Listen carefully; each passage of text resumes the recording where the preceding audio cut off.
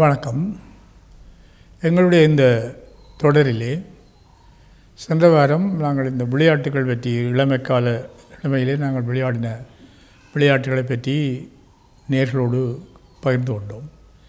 இன்று நாங்கள் சிறுவர்களாக இருக்கும் பொழுது இல்லை நான் என்பதை வச்சுக்கொள்ளலாம். சிறுவர்களாக இருக்கும் பொழுது பார்த்து இந்த வாய்மொழி இலக்கிய மரபு குழந்தை பிள்ளைகளாக நாங்கள் இருக்கிற பொழுது கண்டு வளர்ந்து வரை கண்ட எங்களுடைய வாய்மொழி. இந்த வாய்மொழி இலக்கிய மரபு எங்களுக்கு எங்கே தொடங்குது என்றால் தாலாட்டிலேயே தொடங்குது.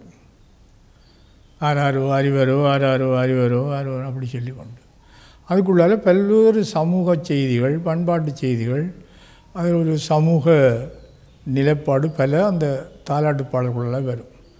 மனித உறவு முறை வரும்.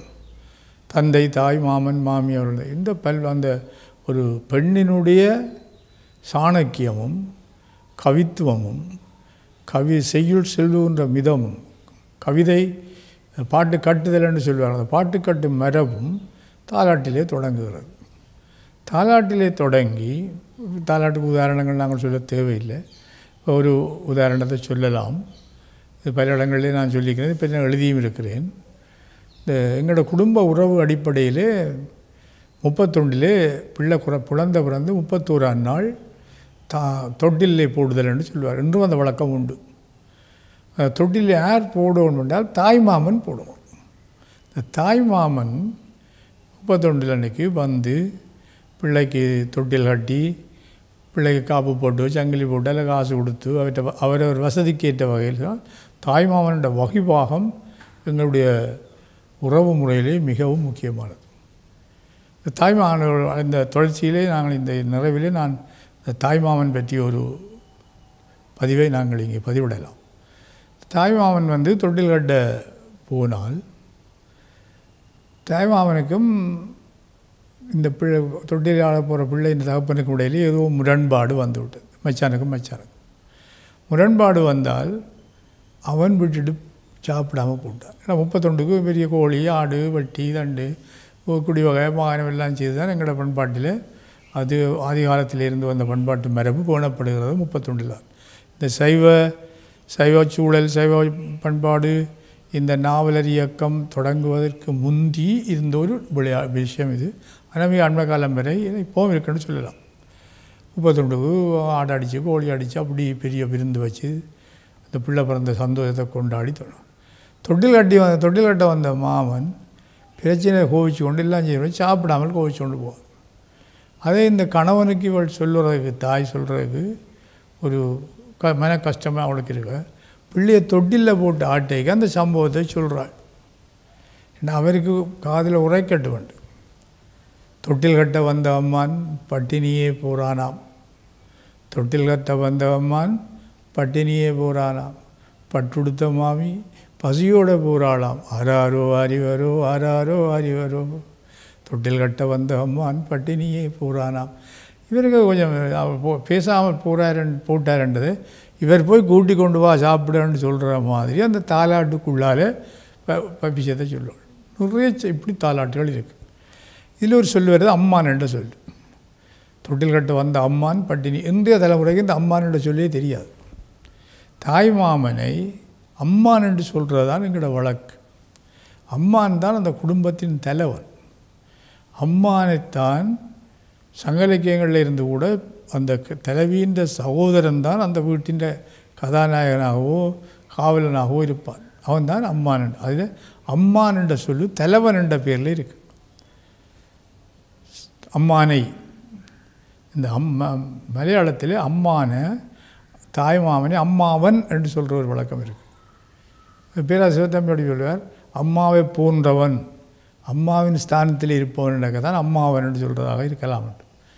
இந்த அம்மான் என்ற சொல் எங்களுக்கு தமிழில் இறைவனை கருத்து தலைவனுக்கு விரட்டான துறை அம்மானே அம்மான்ற தலைவன் ஒப்பற்ற தலைவன். இதில் தான் தாய்மாமனே அம்மான் என்று சொல் இந்த அம்மான் என்ற சொல்லு போய் பிறகு மாமான்ற சொல்லு வந்து அங்குள் என்ற சொல்லு வந்து எல்லாம் மாவா மாமாவாக உடைஞ்சு போச்சு. அந்த அம்மான் என்று சொல்லிக்கு இருந்த மூத்தம்மான் சின்னம்மான் ஆசையம்மான் தான் இருந்த அப்போ சௌகரியங்கள் நாங்களாம் அப்படி தான் சொன்னாங்க. இந்த மரபு இந்த தாலாட்டுக்குள்ளார நாங்கள் பார்க்கக்கூடியதாக இருக்குது தாலாட்டுக்கு பிறகு இந்த குழந்தை வளர்ந்து இந்த குழந்தைய வளர இந்த மழலை கப்பினம். அது அநேகமாக பாட்டி பெரியம்மா பெரிய அம்மா அப்பா இப்போல்லாம் தாத்தான்னு சொல்கிறது அம்மா அப்பா அப்போ அப்போ ஆத்தியப்பு ஆத்தியப்பா பெத்தாத்தை பேத்தி என்றால் அப்போ சொல்கிற சொற்கள். இந்த சொற்களே இப்போ இல்லை. நடைமுறையில் வழக்கறந்து போன சொற்கள் தமிழில். அவர்கள் வந்து பிள்ளையை தூக்கி வச்சு மலரை கேட்டு செல்லங்குஞ்ச கூத்து கூத்து குமரப்பா கூத்து கூத்து குமரப்பா குரக்கனை கூட்டி கொண்டு உமலத்தா கூத்து. அப்படி அந்த ஓசை நயத்துக்கு அந்த பிள்ளை அதை ரசித்து ஆடிக்கொண்டு இருக்கும். இந்த மழலை பாடல்கள் வந்து பிள்ளை ஒரு மாதிரி வளர்ந்து தெருவிலிருந்து புழுதி அலைந்து அண்டு பட்டணத்தார் பாடின மாதிரி ஒழுங்கு எழுக்க மண்ணுக்குள்ள விளையாட தொடங்கும். அப்படி விளையாடத் தொடங்கிக்க அந்த இதெல்லாம் நாங்கள் விளையாடின விளையாட்டு தான் விளையா பாட்டு தான் வாய்மொழி பாடலாம் ஒன்று ரெண்டு மூன்று நாலு அஞ்சாம் நம்பர் அடி. அஞ்சாம் நம்பர் வீட்டுக்குள்ளே சிங்க ரங்கு பெட்டி அடி. ரங்கு பெட்டியை திறக்க போனால் சிங்க குட்டி அடி. சிங்க குட்டியை திறக்க போனால் செறிப்பாயுதடி ஒன்று ரெண்டு மூன்று நாலு. இந்த பிள்ளைக்கு அதில் எண்ணும் எண்கணித நினைப்பாடும் இலக்கங்களை எண்ணுகிற வழக்கமும் இந்த விளையாட்டு கூடாக விளையாட்டு பாடல் கூடாக ம- கூடாக அந்த பிள்ளைக்கு வந்து சேரும். இப்படி வரைக்கும் ஒரு ஒரு ஒரு சொல்ல அதில் ரங்குப்பட்டி என்று வருது எங்களுக்கு இந்த ரங்குப்பட்டி என்று சொல்லு ஒரு மேலப்புலத்தவற்ற வருகைக்கு பிறகுதான் வருது. இந்த ரங்குப்பட்டியின் ரங்குப்பட்டியை திறக்க போனால் சிங்கக்குட்டியடி எதுகை மோனை சொற்கள் ஒழுங்காக வந்து ஒரு பாட்டு கட்டுற திறனையும் அந்த பிள்ளை வாய்மொழியாகவே பயின்று கொள்ளும் இவ்வாறு இந்த வளர்ந்து வருகிற வாய்மொழி மரபில் ஒரு பிள்ளை வளர்ந்து இது பிள்ளை தானாகவே பாட்டு பாடத் தொடங்கும். தானாகவே பாட்டு கட்ட தொடங்கும். பதினேழு பன்னெண்டு வயதிலேயே பிள்ளை தானாக இயற்றுறேன்னு சொல்லுவார் பாரதி பத்து வயதில் பாடினான்னு சொல்கிற மாதிரி. சொ- பாடுறது அப்படி அந்த பிள்ளை தானாக ஏற்றி பாட தொடங்கும். அப்போ தான் பாரதி சொன்னான் ஆண்டோர் பத்தினில் ஆடியும் ஓடியும் ஆறு குட்டையின் பேச்சிலும் நீச்சிலும் ஈண்டு பண்பர இறங்கியும் என்னோடத்த சிறியர் இருப்பதால் அந்த வயதில் அந்த சூழ்நிலையில் பிள்ளை இந்த காது வழியும் வாய் வழியும் கட்டி இந்த பாடல்களை மன்னனம் செய்வதில்லை அது மன்னனம் ஆகிறது. அது பிள்ளை செய்து தெருவில் இருந்து இந்த பாடசாலை போய் வரைக்குள்ள பள்ளிக்கூடத்தை பற்றி இந்த அரிவரி குறிவரி அப்படியெல்லாம் கனவாட்டு அந்த காலத்து சாதி பேர் வரும் சாமியா பேர் வரும் சாமியா இது வரும் அரிவரி குறிவரி அந்த விஷயங்களை பார்த்து ஒரு பிள்ளை ஒரு ஒரு- ஒரு இலக்கிய கவிதை தமிழ் ஓசை ஒழுங்குக்கு உட்பட்ட சிந்தனை உடையதாக அந்த பிள்ளை வரும். இது முக்கியமாக கிராமங்களிலே நாங்கள் பார்த்து விடணும். பிறகு கொஞ்சம் வளர்ந்து வர அந்த பிள்ளையே பாடத் துவங்கும். இதான் எங்களோட வாய்மொழி இயக்கத்தில் நாட்டார் பாடல்களை காதல் பாட்டு அப்படி அதுக்கு முந்தியே அந்த பிள்ளைக்கு ஒரு ஒரு இயல்பான பாட்டு ஒரு பேரன் பேத்தி அவர்கள் இப்போ ரெண்டாம் உலகமாக யுத்த காலத்தில் விமானங்கள் பறக்கிறது. அந்த காலத்தில் வந்த பாட்டு உண்டு. நான் சின்ன பிள்ளையார் இருக்க கேட்டது. கொக்கு பறக்குதடி. நான் நாரே பறக்குதடி நாகம்மா. அது நாட்டை வட்டம் போடுதடி நாகம்மா. ஊரே கிழக்குதடி நாகம்மா. உனக்கு மட்டும் சொல்கிறேன் டி நாகம்மா. இந்த நாரே பறக்குதடி நாகம்மா கொக்கு பறக்குதடி நாகம்மா குகை பறக்குதடி நாகம்மான்னு பிறகு அந்த வாய்ப்பாட்டு ரீதியாக சொல்லி மாற்றி மாற்றி மாற்றி பிள்ளைகள் எல்லாம் பாடுவார்கள்.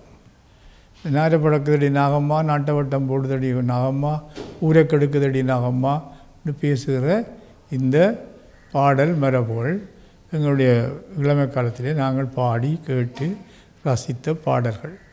இந்த முக்கியமாக பெரியவர்கள் இயற்றி தாங்களாக பாடுகிற பாட்டும் இந்த சின்ன பிள்ளைகளின் காதில் விழுந்துடும் இப்போ ஒரு விஞ்ஞான ரீதியாகவோ அல்லது வாய்ப்பாடு ரீதியாகவோ தொழிற்பாடல் நாட்டு பா பிரிப்பார்களே தொழிற்பாடல் கோயில் பாடல் கூட அந்த கா இந்த பிள்ளைகள் விளையாடுகிற பொழுது ஒன்றை பார்த்து அதை போல செய்வார்கள். இப்போ கோயில்களில் அந்த காலங்களில் திருவிழா நடக்கும். திருவிழாவை பார்த்து போட்டு பாடசாலை லீவு விட்டால் அவர்கள் வீட்டில் திருவிழா கொண்டாடுவார்கள்.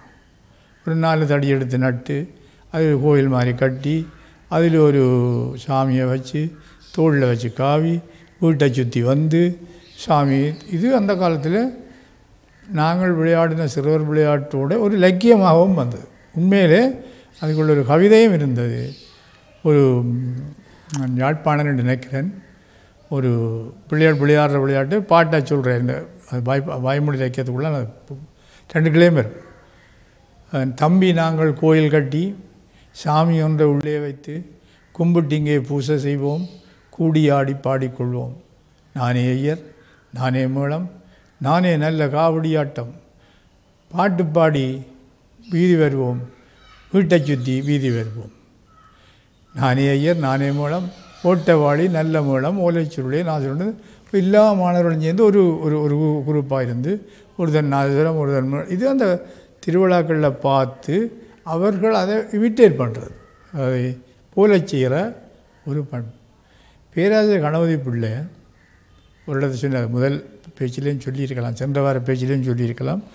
அந்த பிள்ளைகள் தென்னீர்க்கிலே ஓ ஈ- ஈக்கில தேர் கட்டி இழுத்து விளையாடுற ஒரு வழக்கம். இப்போ தென்னீக்கில் கட்டினா அப்புறம் முருக்கஞ்சத்தில் கட்டுறேன்னு சொல்லி ஒரு வளர்ச்சி. இந்த தேரை இழுத்து கொண்டு வரைக்க மேளம் நாதஸ்வரம் எல்லாம் தேவைதானே. அப்போ அவர் காகாடுண்டும் காகாடுண்டும் ஆச்சினே விலகு அப்புனே வழிவிடு ஈதோ சாமி எழுந்து தேர்வாரார் காகாடுண்டுன் காகாடுண்டுன் ஆத்தனி விலகு அப்பனி வழிவிடு ஈதோ சாமி எழுந்து தேர்வார்னு காதலியாற்றப்படல பேராசிரியர் கனவு பிள்ளை எழுதியிருக்கிறார். இந்த சாமி வருவது விலத்துங்க கொண்டு இந்த பிள்ளைகள் இது அந்த பிள்ளைகளின் விளையாட்டாகவும் அதே நேரம் அவர்களின் ஒரு ஆரோக்கியமான சிந்தனை வரவுக்கும் செ- செ- செய்யுளுக்கும் இந்த ஒரு இலக்கிய துணையாக அது அமைந்திருப்பதை நாங்கள் பார்க்கலாம். இந்த வகையிலே ஒரு கிராமத்தில். எங்களுடைய இளமை நினைவுகளை மீட்டு பார்க்கின்ற இந்த சூழ்நிலையில் அந்த பாட பாடல்களில் சாதி வரும் சமயம் வரும் கிராமம் வரும் பிரதேசம் வரும் சூழல் வரும் எல்லாம் வரும். இந்த ஈழத்து குறிப்பாக வடக்கு பகுதியினுடைய நாட்டுப்பாடல்களில் ஒரு முக்கியமான பாடலை நான் அடுத்த உரையில் சொல்லுவேன். இது இந்த தொழிற்பாடல்கள் என்று சொல்லுவார்களானே. அம்மியில் அரைக்கிறது உடலில் குத்துறது வெள்ளைப்பாட்டு உடல் அடிக்கிறது இப்போ எல்லாம் திருப்பி அது எங்களுக்கு வரப்போகுது. அந்த வகையில் வலை இழுக்கிறது. அது எங்களுடைய பிரதேசத்தை நான் இது வெளிக்கள ஆய்விலே கண்டு எடுத்துக்கொண்ட முடியும் எழுபதாம் ஆண்டுகளில். இப்போ இத்தனை முப்பது நாற்பது வருஷத்துக்கு முந்தி. கண்டது அங்கே அந்த தொழிற்பாடல் அந்த தா தாளியடி நாகர்கோவில் பகுதியில் அந்த வலை இழுக்கிறவர்களுடைய பாடின பாட்டு. இந்த ஒரு அந்த மூச்சு விட்டு விட்டு பாட போகிற ஒரு பாடலே இருக்குது எங்களுடைய வாய்மொழி இலக்கியம். என்ன அந்த ஒரு ஒரு பாடல் ஞாபகம் இருக்குது அந்த விலை இழுக்க அந்த கருப்பிவாடி காரில் போவோம். கருப்பிவாடி காரில் போவோம். சிவப்பிவாடி ஜீப்பில் போவோம். சிவப்பிவாடி ஜீப்பில் போவோம். உடுத்தர பொம்பளை வருத்தர மாப்பிள்ளை. சுது சுதுமலை பிள்ளை சுதியான பிள்ளை. இப்படி அவர்கள் இயற்றி ஏற்றி பாடிக்கொண்டு வந்தார்கள். இதை நான் நேரே கேட்ட பாடல்.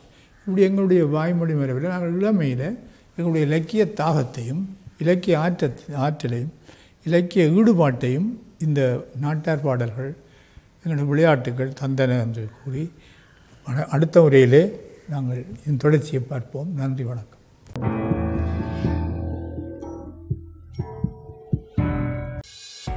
டான் தமிழொலியின் புத்தம் புதிய நிகழ்ச்சிகளை உடனுக்குடன் பார்த்து மகிழ எமது யூடியூப் பக்கத்தை சப்ஸ்கிரைப் செய்யுங்கள்.